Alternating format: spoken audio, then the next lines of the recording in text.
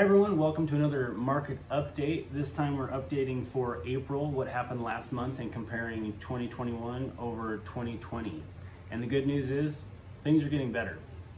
There's a lot of sales, but inventory is increasing and that's helping the market slightly balance out. Although the seller market is still here. So let's dive into the numbers.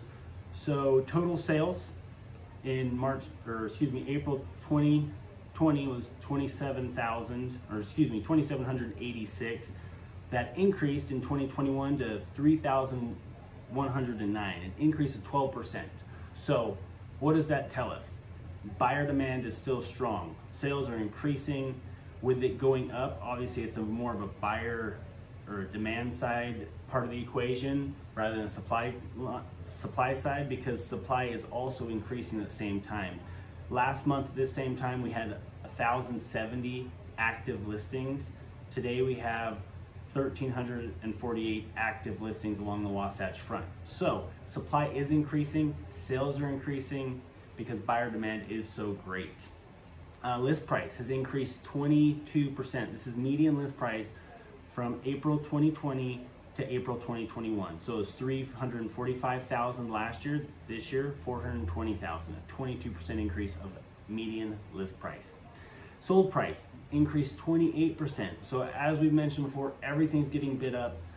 Everything from the $300,000 home up to the million dollar home. It's still nuts, obviously, but a 28% increase in sold price, you know, from 345,000 last year to $440,000 this year.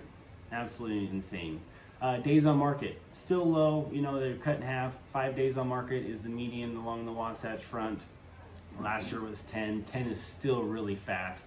Um, but overall, you know, after looking at the numbers, after seeing how inventory inventory has been slowly increasing, I think our supply side of the equation is in a good place. You know, we've been getting more listings, but the buyer demand is still so great that everything is competitive, everything is selling super fast.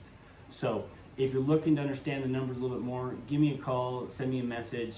I'm happy to chat more. You know, as I go out on listing appointments right now, for people who need to sell and buy, this is the conversation we have. You know, what do we need to do to sell now and what can we get into in this competitive environment? So thanks again for watching. And if you have any questions, reach out. Thanks.